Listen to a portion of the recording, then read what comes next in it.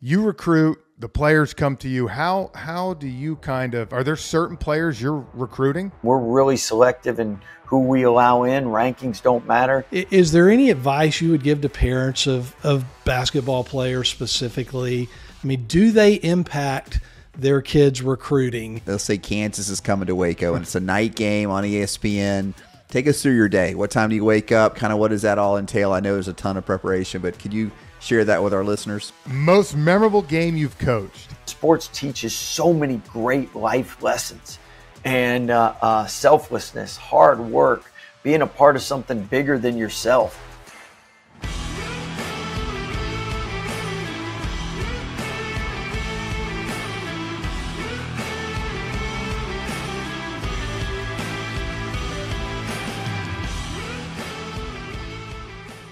Hey guys, Jeff with Britt and Brad, and uh, we are going to have a lot of fun uh, coming up this year. But let's get a little start. Let's talk about everything. School's back in session, right? Yeah, well, my boys are the only ones in school here, and college hadn't started yet, so Yeah. not not at my house. My For kids, you. my kids are a week away. I got I got one going back to college or going to college for the first time in three weeks, and then my the two youngest are starting school next week. So one more week of summer left.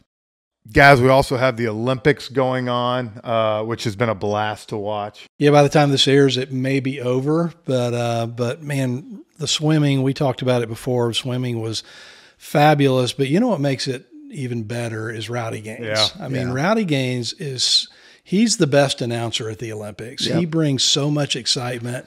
And if you haven't heard, we had Rowdy on our, Yep. our show in the first season, and he was fantastic. So if you haven't heard that in his story, you definitely want to go back and I mean, listen to he's that. a genuine guy. I mean, he's such a humble for all he's accomplished on in the as a swimmer, but also as an announcer. He, he's just a good guy. And he didn't start swimming competitively till he was 17. which years was awesome because he couldn't make any other team, which was which was great. But you know what I loved watching is how he would break down like in relays and stuff like that. You know, USA's got to be here at this point to have a chance to medal here. And I mean, dude, most of the time he was right on too. It was it was impressive. Yeah, it's a shame that that we don't get that again for four more I years. Yeah, I know. yeah. But we got college football coming up. We do. We do. I cannot wait. Obviously, it's been a quiet year for my Clemson Tigers, Dabo Swinney, who kicked us off season two last year. Uh, it's been quiet there, which I told you I kind of like it. I'm kind of thinking they're going to come out a little different this year. We're going to find out because they're playing Georgia opening week. It's gonna be fun. It's gonna be fun. Yep. So what uh, what's coming up, Jeff? You know what, guys? I'm excited to officially welcome you to our season three. Um, we have so many great guests uh, lined up over the next, you know, few months and and continuing to go on. We're going to do some live shows along the way, uh, but I think it's cool that we get an opportunity uh, to talk to uh, our first one to be Baylor head coach Scott Drew, who national championship coach, but I think more than anything is just a man of faith and character, and the way he runs his pro- program, I think is is it might be the best in the country.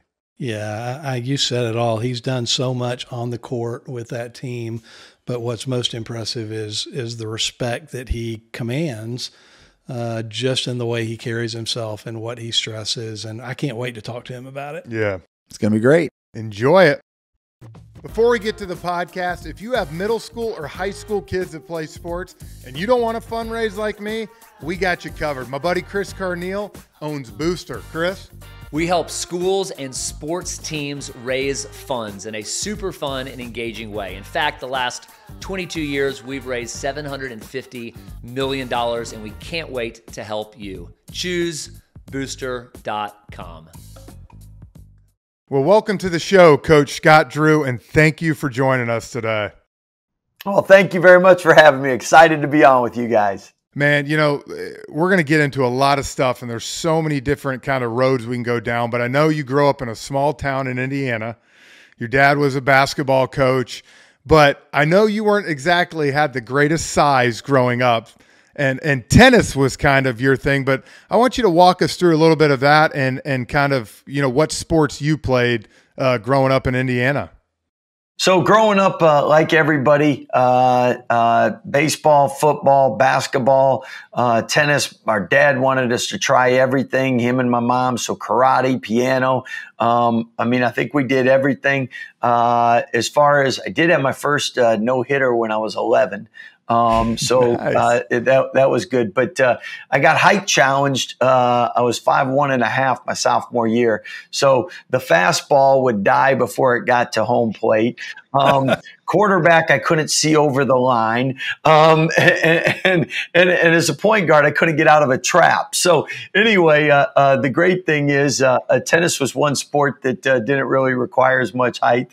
Uh, but uh, in a basketball family, uh, we had a basketball court in our backyard, and uh, me and my brother sister we played all the time. And uh, one thing my dad really allowed us to do was um, not only always have summer camps with with his team all summer long, but he allowed me to coach my brother and sister's team and um, with with with doing the coaching part, the recruiting part, uh, the development part. That was really uh, uh, what uh, God blessed me with the desire to do, and I love to help people. And uh, as that continued to grow and and it became obvious to me, He wanted me to coach. Uh, my dad wasn't so certain; he thought I needed to go to law school, um, but that was too much reading for me. So anyway, I was blessed to have an opportunity to coach with him. And then my brother played for us. And from there, uh, we went to a Sweet 16 at Valparaiso University, and uh, I worked with my dad, and we won six out of seven championships. And uh, then Baylor, I took over there. Then Baylor position was open. Prayed about it, felt led to come here. Been here ever since. Anyway, I'll let you ask another question. well, Coach, I, I uh, going back again to growing up and at what age when you, you talked about your, your challenges of being being short did you did your goals transfer from like hey i want to i want to play at college to where you talked about hey you, you got the itch to coach was that a tough transition was it kind of something that god kind of gave you a reality check of hey this is not going to be my path and i need to choose another path or kind of take us through that a little bit I think when God always shuts one door, He always opens another. And I remember uh, actually, my parents took me to ho- the, the, hospital. I spent the night and two nights they were doing tests to see why I wasn't growing. And uh, um, uh, again, I think if if I'd have been normal size, I'd have probably been a, a, a Division three NAIA basketball player, and then I would have never had a chance to go to Butler. I'd have never had a chance to learn under Barry Collier and Thad Matta. Um, Barry coached at Butler and really got the program going, and then went to Nebraska, and Thad Matta coached at Butler, went to Ohio State, went to Xavier, um, now is at Butler, had a great career. Um, Jay John uh, became the head coach at uh, Oregon State. So I was really able to learn from some really successful coaches and bring some ideas back to my dad. And again, that's where um, God always uh, uh has a better plan. Sometimes we get mad that it's not our plan, but uh, we're not God, and uh, He knows the ending. So he, he knows better than us for sure. Because uh, one thing I love when I heard this pastor say, "You look at your finger, and there's eight billion people on this on this planet, but you're the only one with that fingerprint."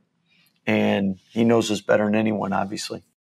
Coach, you you've taken all of that and you know you've done so much with your career and and you're known for you know being a great leader and we we read in your book and we'll talk about your book here in a little bit but uh, but you won a leadership award in eighth grade, and so and I think that came from your peers. And can you talk a little bit about where you know where your leadership skills were developed? Were they innate, or did you learn it from your parents? Or can you just talk a little bit about that? Well, I, I was blessed to uh, have great parents. Um, both were educators. My dad has a doctoral degree. My mom was a, a teacher, and uh, I think uh, uh, the first thing is it's hard to lead unless you're taking care of your own business. And uh, uh, always got good grades. Um, not saying I was perfect. We know we all sin, and we're all saved through faith and grace. Uh, and and with that, um, I think uh, following my dad and mom, my dad's always been a great leader, and uh, I think he's a better father than a coach. Uh, but if you if you have a great dad, you try to emulate him and you try to be like him in a lot of areas. And uh, one thing he did that uh, I didn't really understand at the time, um, when I was one. He coached at Washington State, assistant coach. When he was when I was two to six, he coached at LSU with Dale Brown. And uh, I think the last night he was gone, like 157 nights. He had hotel receipts for. And my mom tells a story. He came in one night. We we have three kids now, and we thought he was a burglar. and so he he went to a, a, a small Christian school uh, from there, and that was really a huge sacrifice um, because he was on the fast track to be a head coach, and yet he chose to to go a different path so he could spend time with us. And uh, his gym was our playground, and uh, we spent uh, uh a lot of time playing every sport with him. And from that, uh, able to learn a lot from him because of the time that he gave us. You know, in youth sports, so many so many athletes and people that make it obviously have a brother, sister, someone what was y'all's relate you and your brother's relationship like growing up? And and did you kind of push each other? Did you have some fun with it? I think really the day I quit playing basketball was when he beat me. So uh, and that, took, that took a long time because you know you're always you're always older, bigger, stronger, yep. and you're calling fouls because you're the oldest. So you ran the court. Yeah, but but uh, uh, I also uh, joke because he always played with my friends and I was four years older, so he's always playing with guys older than him. Um, but I, I joked that uh, you knew he was a good player because I would pick him on my team. yes, uh, Coach. When you you said your dad wanted you to go to law school, but but obviously you wanted to coach, and how hard was it for you to, to get him to hire you at Valparaiso? Like, was that a tough interview process?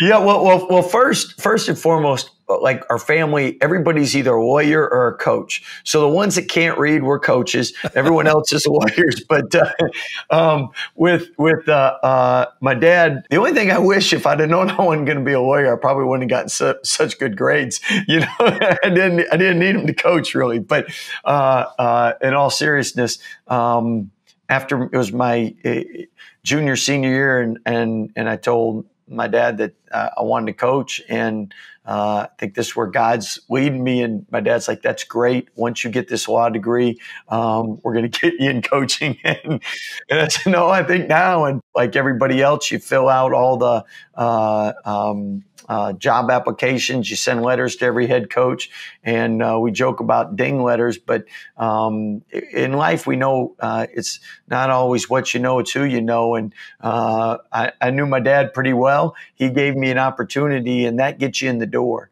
And then it's up to you uh, to make sure you stay there. And I remember uh, first year made six hundred dollars a year. Um, couldn't live anywhere because couldn't afford anywhere except home. And all I did was work twenty four seven. And I remember uh, we back in the day, staffs were smaller, understaffed. And I remember the first time I met with our staff, I said, anything that you guys want, give that you don't want to do, give to me. Because I know right now, if we don't have good players, we're not going to win. And we, we need, we need better players. And so I tried to do everything that that allowed our two assistants to recruit at the time. And then when I got my work done, then I would recruit. Um, but uh, literally, my my day was pretty pretty boring. It was stay at the office until I, I had to come home and go to bed. Well, you've you've turned that into a extremely accomplished career. But we want to unpack some of that. You know, we have an audience of of young athletes and parents and coaches, youth sports coaches and uh, and we just think you have so much that you can say to all three of those groups today. And, and so, just to kind of start off a little bit on coaching, can you kind of tell us how you how you de- develop your coaching philosophy and maybe sum up what what that is for us? Yeah, I, I you know. Uh, um, uh, I had one mentor, and that was my dad. I learned from him, and he's the only one I learned from. And so often you hear where you got to learn from several coaches or go to several programs. Well, if you if you learn uh, from somebody that does it really well and right, why do you need to learn from two or three people? And uh, uh, Dale Brown was my other mentor because my dad worked for him, and uh, I could really talk to him about things at the Power Five level, the media, and different scrutinies. Um, but with that, I, I, what my dad did, I, I, copied, emulated, and then obviously you go to clinics, you talk to coaches. Um, you can only learn if you ask questions. If you're talking, you're not learning. So uh, the more I could ask, the more I could uh, learn from, and you you learn from anybody. So just try to get people talking and, and, and learn from as many people as possible. Be a sponge and take in the best practices and uh, never, never stop learning. You know, one thing I love about you, coach, obviously your program is you're just you're high on character, and it's one of our pillars that we have for pure athletes. So, you know, what do you preach to your kids, your players, on why it's so important to uh, obviously have great character in great moments and in bad moments? Great question. Uh, uh, I remember one of our players that was just drafted this summer.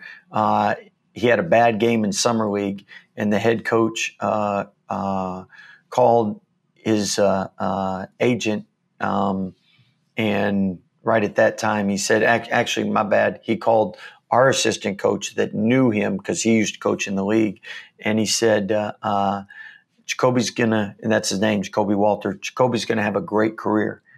And he said because he had a bad game and how he handled it and approached it, the character he showed, he's going to be really successful. And you learn about people in their highs. Do they have humility? And you learn about them in their lows. Um, and what's their foundation? What are they built on? Uh, you find out about when you squeeze an orange juice, what comes out. That's and until you're squeezed, you don't always know. Uh, but with us, we call it preparing champions for life. It's a spiritual, it's academic, it's character formation, and it's athletic. And at the end of the day, um, the most important thing is you can't uh, you can't buy your way into heaven. You can't win your way to heaven. I, I, if I die today, I'm not going up there and saying, God, we won a national championship. Yep. Or, or, God, how much does it cost to get into heaven? Um, we're all a son of a king. He sent his son to die for us through Jesus. That's how we get to heaven. So uh, uh, he did the work. And uh, so often uh, we try to take credit for what we do. Um, and uh, uh, that, that's not the case. Otherwise, he wouldn't have had to send, us, send his son to die for us. Coach, you um, that was great, by the way. Yeah. Um, you had you were you'd been a head coach for one year of Valpo, and then the Baylor job came available. And I mean, everybody knows the story, but I don't, I don't know if everybody knows the story. How how bad a situation that was. What you know, what prompted you to sit there and say, I you know, what what where did you find the confidence? Where did you find the the uh, foresight? I know you probably prayed a lot about it, but to take over that program in the state that it was in, and, and did you foresee all the success you're going to have? You know, like I mean, how, how could you how could you take that program to where? How could you see it being where it is now, success wise? So with with my dad, he when he when he was at Valpo before I got there, they played in the Dr. Pepper Classic at, at, at Baylor, and they'd played in a lot of different tournaments. And he always talked about the great hospitality and the kindness of the people. And uh, Jim Turner was their host, and uh, he's built a lot of buildings here. And um, uh, great player at uh, uh, uh, Baylor uh, basketball had a game of 62 or 63 points um, back in the day. Was the CEO of Dr. Pepper, still involved with the program. But anyway, that relationship, that hospitality, I just he would always say the best best place, best tournament, Baylor University, Waco, Texas. Um, Valpo is the largest Lutheran school in the nation. Notre Dame's largest Catholic. Baylor's the largest Baptist. Denominations, um, uh, uh, sometimes uh, uh where people go to church means too much. At the end of the day, uh, being able to pray with people, being able to worship with people. Um, uh, I don't think Jesus cares if you're Catholic, Baptist, Lutheran, evangelical. Um, so, with that, being at a, a Baptist school, though, uh, really gives you an opportunity to share your faith. Um, so many great ministries on our campus, uh, over 20, so many great churches in our city. And uh, uh when it came open, we had the blueprint because at Valparaiso University uh, was right next to Notre Dame and Digger Phelps had said, Homer, don't go there. And that's my dad's name, Coach Drew, Homer Drew. don't go there. No one's ever won there. It's a graveyard job. You can't win there. Yeah. They don't have the resources, whatnot. My dad went there um, and developed it into uh, uh, really the, the Gonzaga before the Gonzaga. Um, and with that, at Baylor, it's the same thing. Uh, hadn't had a ton of basketball success, um, but great academics, great school, cared about athletics, and uh, uh, so much upside, so much room to grow. And at the end of the day, uh, if God says go, well, it, who are we going to follow, right? So, um, and and I felt led to come here, and I've I've always had on my heart to to be at a conference in a place where you could compete for Final Fours and national championships year in and year out, and God put that on my heart, and uh, obviously in the Big Twelve, being the best basketball league for the last uh, uh, over the last ten years, um, analytically by far and away been the best league as far as uh, getting teams to the tournament. Um, no better place to go than Baylor. You know, Coach, I got, I got a question. We, we've had Jay Bilas, Jamal Crawford, different basketball guys on the show, and they all talk about the landscape of AAU today and how it's me, me, me. Try to showcase yourself. So you recruit, the players come to you. How how do you kind of are there certain players you're recruiting for parents that are on here that whether it's character, whether it's kind of being unselfish. And then when they get there, do you try to mold them into a culture that that you believe in? Yeah, great, great question. So with us, obviously they have to have talent, otherwise you're yeah. not recruiting them. they can't look like these two guys. Is that what you're saying? you're good, by the way. You're good. But with the with with with that, after the talent, I mean, that's when the character, the heart comes in. Um, I'm uh, this is this is year 23 here, and uh, uh, life's too short to be around people you don't want to be around. So we're going to coach people that we want to be around, that we think we can help, we think will represent our university um, the way that it, it, it, wants to be represented, and with that, uh, if they have the character, uh, the work ethic, um, uh, spiritually, um, just open to grow in Christ, and uh, um, academically. Uh, usually, usually, if you're competitive, you want to be good in everything and uh, we're looking for competitive people that that fit our our character and uh, work ethic and what we do here at Baylor. So um, it's a, it's a great place because academically uh, we're an R1 research institute and uh, that's the highest of highs.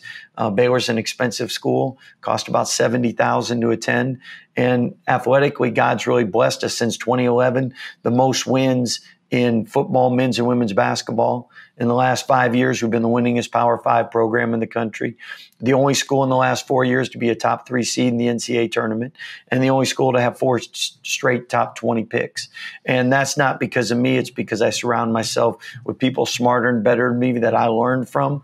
Uh, it's a great administration, it's a great fan base, and at the end of the day, the players are the ones that do the work. So, Coach, carrying that on a little bit, hey, I mean, so you're you're looking at character and heart, and in addition to talent, as you bring people in, but still, these are 18 year old kids. So, I, I'm curious, what what would your message be to other coaches out there? How do you how do you create, you know, once they're on campus, how do you continue to develop culture, and how do you pour into kids?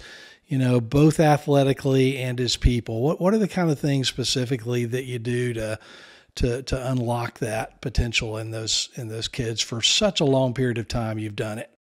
Well, that's what's so great. In Division One, there's 363 schools, so there's a lot of coaches that are better for certain type players than me, and there's there's programs that are much better for certain type players than than than Baylor's. Um, so it's it's really getting to a fit and getting to a place that um, you can become the best that uh, uh, God's called you to be. And with us, uh, it, it's always a Christ centered program. Um, everything we do starts from the heart and uh, I mean, we'll pray before practice. Uh, we'll end with a prayer after practice. We got a no cussing policy where you run lines or do push-ups. That's players or coaches. Um, now we get after it. We compete and we try to work harder than anybody in the country. Um, but at the same time, uh, we do it with listening to music and uh, uh, some of it's gospel music, and uh, it, it's done in a way that, uh, again, it's not for everybody, um, but uh, for those that are looking to go to a school and grow spiritually, academically, and improve their character. People leave Baylor. I've never heard an, an NBA GM say, um, doesn't have the character we need. Uh, normally, they, they players come from this program and um, they that that that box is checked, and that's because it's a player-led program. The upperclassmen uh, they know what we want, how we want things done, and iron sharpens iron. Um, uh, there's three of you sitting there. If two of you are doing the wrong thing, then probably the third is going to do the wrong thing. If two of you are doing the right thing, probably the third's going to do the right thing. So um, we're really selective in who we allow in. Rankings don't matter. Um, there's been number one players in the nation we haven't brought to visit. Not that that that they're bad kids, but just don't fit our program. And so we're not going to sacrifice our program for for somebody that's talented. It's it's a it's a business venture. Good business both should benefit, and people need to get to a place that's best for them. And uh, uh, the place they're going needs to obviously benefit. And so uh, we're like the Marines. We're looking for a few good men. Man, I love rankings. Don't matter. I'm so glad you said that. I, I made my day. Coach, what do you say though to like we you know ninety five percent of the kids who are listening to our show, you know, are not four star and five stars. But what do you say to that kid that still dreams of playing at a Baylor, playing at a, a D one? Kind of how do you how do you give them inspiration? How do you give them hope that that journey you know is still there for them? Well, it, not everybody's going to be in the NBA. Um, not everyone's going to be at a, a, high major school. Not everybody's going to be a, a, college basketball player. Um, but if God gave you a passion and a desire, uh, then then it's up to you to uh, reach the fullest potential you can. And uh, the great thing is that the players that we try to recruit are guys that are really passionate about basketball because otherwise it becomes a job. And if it's something that you don't love, then there, God created you to do something else. But if it's something that you love, um, you might be at the high end, somebody that plays overseas, or someone that plays in the G League, or somebody that uh, never plays professionally, um, but gets a great degree, has a great impact, and is successful in life after it. Um, whatever talents and abilities God's given you, uh, He just a- asks you to max them out, and that's what we try to do.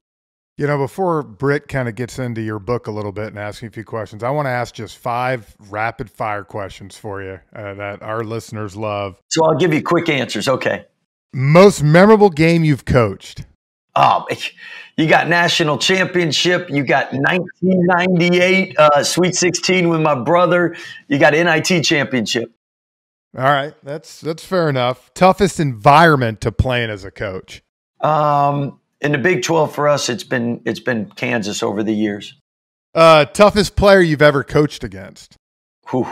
Kevin Durant, Blake Griffin, Trae Young, Michael Beasley. We've had some monsters in the 12. Uh, your favorite sport event to watch outside of basketball? College football. Love college football. Oh, okay. We were just talking about it on here. I can't wait. And, and my final one who's the athlete you grew up looking towards? Uh, Michael Jordan. That was easy. That's perfect. Well, Coach Jeff mentioned your book, and uh, you, have got a book called The Road to Joy. Uh, leading with faith, playing with purpose, leaving a legacy, and and we're trying to talk about some of those things with you today. But I, I just want to recommend we've we've got the book, have been through it. It's a great read, and you know we only have you for about 40, 45 minutes today, so there's only so much we can cover. But for our audience, you know, if you want to hear more about Coach's story growing up uh, and really unpack some of that, if you want to hear more about his philosophies as a coach, we highly recommend this book. It's it's really a great book. Well, I appreciate you saying that. One thing I can tell you, if if if I wrote it, it's going to be a real easy read because I don't use a lot of big words. have you have you? Uh, is it something you'd wanted to do, or did someone push you to do it? Kind of. That's another great question. So my dad always wanted to write a book, and it was always keep notes. We go to this uh, Sweet 16. He writes a book, and they're all still in his basement. So if you want a copy, I can get you. uh, find a way. But uh, um, so from that, he always told me when when we came down here and started being successful, hey, keep notes you need to write a book, need to write a book. I never wanted to write a book. The reason the book was written was just to share what God's done through our program because um, really that's that's why we achieved what we did, and that's why the book was written. Uh, I, two really specific questions. One, and I think they're kind of related. One, what's your what's your favorite part of coaching? And and then number two, how how do you in this world that you're in, which is big time basketball, how do you how do you keep balance in life? Wow, two good questions. The fir- first one, uh, when you see you, you, coach because you want to see people reach their goals and dreams. So obviously, when they're working really hard and they're able to achieve the highest level, and that's like team goals, that's players uh, reaching professional goals. Uh, that's a big, like it encompasses a lot, but that's that's why you coach. You'll love that. Um, the other reason for me is is it's a ministry, and spiritually, when players uh, grow in their faith, and that might be some accepting Christ, it might be some getting baptized, it might be some that just uh, uh, are stronger when when they leave than when they when they came in, uh, and then continuing those spiritual conversations. Um, 10, 15 years after graduation, and uh, um, that that to me last year we had three players baptized, three accept Christ. That's that's that's awesome. Coach, we when we have athletes on here, we always like to ask them kind of what their game day routine is. What is it? Take us through the day, like when let's say Kansas is coming to Waco and it's a night game on ESPN. Take us through your day. What time do you wake up? Kind of what does that all entail? I know there's a ton of preparation, but could you share that with our listeners? So, so uh, uh, to finish up the, the, the last part, we also our program has really grown because we have nine coaches. You have a strength coach, nutritionist, you have a trainer, you have uh, uh 14 managers and GAs. So you got a lot of opportunities to witness and uh, uh, help people grow spiritually. Second thing, as you said uh, on that last question, was balance, and uh, um, that's a lot longer answer and something that I've tried to get better at each and every year. Um, but that's really, really hard because when you're doing something you love, you tend to spend more time in it, and you have to have a great wife. Period. And I'm really blessed to have a great wife and great uh, uh, kids, and I've tried to involve them more and more as I've gotten older. As far as game day routine, um, I talked to Coach K uh, a couple years ago, and I said, "What really changed for you?" And he said, "Delegation." And when he had that back injury, and he really started to delegate more, uh, life became easier for him because the game has gotten a lot uh, more analytical. Um, uh, uh, everything that you used to do, I, I, I have a little note card, and the little card I look at from 20 years ago, maybe I, I, I had one fifteenth of what I have on a card now. So it, it, it, the game is just so much more complex, and and schemes are, are, are, so much more advanced. You have analytics to back up what you do, why you do, and with who you do it. So I say all that to say, um, a game day, I I I write the card the night before. Um, and that's kind of my review for the test. Get up in the morning and we have shoot around, and uh, um, uh, after that, we'll with with the players, uh, we're watching film with them, and then I'll go home, take a, a, a power nap for ten or fifteen minutes. Um, before I do that, I read the proverb of whatever game we're on. So if it's game five, proverb five, um, and then after that, uh, uh, a lot of prayer throughout the day during uh, leading up to the game, and then uh, uh, uh, afterwards, hopefully, you're so excited with a big win you can't sleep because the only other alternative is you're so upset with a tough loss you can't sleep. So the night after a game is really hard. The night before a game, you're good. yeah, I imagine. You know so we've talked about you know Scott Drew, the coach. So let's talk for a second to a lot of parents that are watching this as a dad. What were you like with your kids watching them play? I try to I try to be the parent that I want our players parents to be, and uh, uh, I think uh, uh, David Pollack had a podcast, and and I love what he said with his kids is after each time they got done, um, did you have fun, and did you play as hard as you could? And really, I, I remember uh, one of my sons uh, had three uh, minor league coaches coaching his team. I think he was four or five at the time. And one of them got done after the year. He's like, I, I'm never coaching again. I said, What do you mean? He goes, Parents are really hard. And I'm like, how qualified to have three pros coaching like five year old or four year old or six year old, whatever it was. And I'm like, wow. Um, but uh, I, really, uh, I want them to, uh, um, if they like it, I want them to, to play as hard as they can and I want them to have fun. And at the end of the day, uh, I'm not the parent that's, uh, uh, um, overly involved and in, all over the officials um, and things like that. Uh, and I and I never never go against what the coach says. Speaking of that, you know, I you see, you know, everybody you recruit has got parents. And you know, you see a whole lot of stuff. We often say, you know, youth sports would be great if not if not for the parents.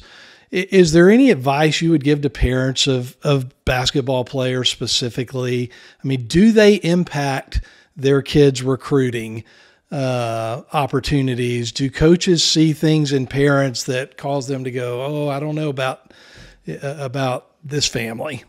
Man, that that that that's another great great question, and we call it their inner circle. And who to who, do the, who does the player listen to? Because at the end of the day, if the inner circle is divided or if there's chaos, then he's probably going to have that same chaos with you. So, absolutely, we look at uh, uh, uh, parents, we look at the coaches they work with, or who's going to, when they get to our school, who's going to have a voice in their life. And if everyone's on the same page and we've been we've been blessed to have so many great parents. And do you want them involved? Do you want them to love their kids? Absolutely. Um, but at the same time i think uh, um, sometimes all parents can look at other parents and say I don't like what them doing this, this, this, this. So then, then you got to look at yourself. Am I doing this, this, this, this? You know, because at the end of the day, you're right. Um, uh, sports teaches so many great life lessons and uh, uh, selflessness, hard work, being a part of something bigger than yourself, um, and that can get that can get out of whack if it becomes about me, myself, and I, and what it being about you. Um, that's why you're playing on a team, and uh, that's why anytime one of our players get an award, we call it a team award because the the player of the year is not going to the last place team. And usually the first team all all league people aren't getting it from the last team. And that's why I love the coaches in the Big 12. We don't reward usually players that that don't win on on, on teams. Coach, you read about uh, Nick Saban uh, not really enjoying the championships and, and kind of like starting to work on the next season on the plane ride home. When you won the national championship in 2021, honestly, how much time were you able just to kind of savor that, or or how soon did you have to get back into the preparing for the next year? I don't think you're a successful coach if you don't constantly plan ahead. And I mean, literally, the the, the minute the game's over, you, you your last game, you're thinking, all right, who's going pro, who's coming back, who's transferring. I mean, that that that that it is what it is. Now, when we won the national championship, I'm one of those guys on my phone. If I got messages, like I gotta answer them. Well, unfortunately, like when it taps out, and I think it was like 700 or 800, whatever the number was, you would start answering them, but then you would get new ones in, so you could never lower it. So I ended up staying up all night trying to lower it. And then about an hour before bed, because we're in the bubble, so you see your families, you celebrate with everybody. Then you go back to your hotel room and you're trying to get through all your messages. And then you have a, uh, the Today Show at, at 6 a.m. So you're like, do you sleep for 30 minutes? Do you? No, you're not gonna sleep for 30 minutes. So you're and then and then you get done, you pack up the hotel. But coming back, uh, having uh, uh, people meet us at the uh, uh, airport, and then coming home, I was not in a, in a state of mind to think about the next year. I was like, I just need to get to bed because I haven't pulled an all nighter uh, for like 30 years, you know, and there's a reason we don't pull them when we're in our 50s, right? Yeah. Oh, I bet it took you weeks to return all the texts on that, huh? You know what, though? I would love to have that problem again. Coach, your your team was so fun to watch that year. That was just an incredible, incredible team.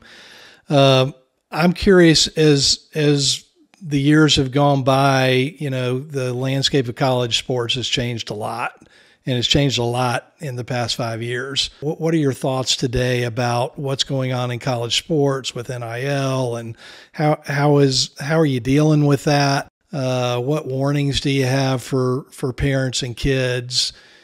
Can you just speak to that a little bit? Yeah, great, great, Great, great questions. Um, I know the frustration with the coaches is the constant uh, trying to figure out the rules because we just want to know. It's kind of like going into a game. Is it 40 minutes? Is it 45 minutes? Is it what's the shot clock? Like you just want to know so you can plan ahead. Um, at the same time, for parents, uh, the great thing is uh, your son or daughter, um, God willing, and they're in that position, they're going to make money not just get a scholarship, but also make money. And hopefully, uh, the agent or the financial guy um, allows or, or woman allows them to prepare and use that the rest of their life, and it sets them up for uh, a great uh, a jump start in life, which is which is awesome. Uh, what what uh, um, my advice is, if their goal is the NBA, then don't put the goal the most NIL, put it the best program to get you to the NBA. Um, you got to whatever your goals are, you got to follow the goals. And um, if it's if it's an academic school, well, academics. If it's a Christian school, Christian school with with the priorities with that. Um, and and from there, um, the one thing that I do feel for athletes is I think uh, um, all of us can relate. Normally, you get out of college and your your your earnings is like this. You start out low, and hopefully, throughout your career, you move up. And uh, it's really hard to go from the Ritz Carlton to uh, the Motel Six. It's easier to go from Motel Six and work your way up. And um, I know college athletes that don't save, now all of a sudden they get used to spending, and then now they're they come down. That's I wouldn't wish that on anybody. So that's that's something that hopefully um, their inner circle provides great direction, so they don't have to go through that. Love that. Uh, you know, Coach, I know you're a busy man, um, and we thank you for spending time. My my last question for you is a two parter.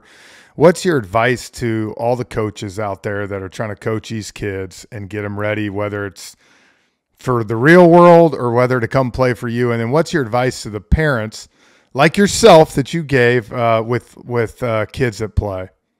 Well, I think I think uh, um, uh, first for coaches is why do I coach, and then uh, um, I love this. Uh, would I want to be coached by myself today? If you can answer your why and you can coach like you would want to be coached, um, you're gonna you're gonna probably be pretty successful. Um, as far as as far as the parents go, uh, I mean life is life is short, and um, I know with me, um, my number one goal is that that I see my kids in heaven one day, and um, I know they can't buy their way in. I know they can't earn their way in. Uh, so uh, uh, everything that they do, I hope, is pointing that way. And um, they have fun with the God given ability they've been given. Um, but the last thing I would ever want to do is force my kids to do something that God didn't put on their heart or give them uh, a desire to do or a talent to do or an ability to do. Um, because we all know that uh, God's created each person uniquely. And when you find why he's created you, that's when you're special. Man. Coach, man, we, we love that you're using the platform to to point people towards him. Uh, it's it's not done enough. It's refreshing. It's very refreshing. So we we appreciate we appreciate that. it, and you've you've given us another reason to come to Waco besides Chip and Joanna Gaines, right? Hey, hey, Chip, Chip and Joe are the best. You come down, you can watch a game, you can go through Magnolia, tour, tour all the things. They got some great cupcakes for you. You look lean enough, you could have a couple. Well, you know, I, will send my wife there, and I'll come over and hang out with you and the uh, basketball. Well, you guys are always welcome. Appreciate what you do, and thanks for helping so many young kids and uh, families out. Well, thanks, coach, and best of luck this year, man. Hope you have another great year. Appreciate you. If you say a prayer for the Bears, we always appreciate that.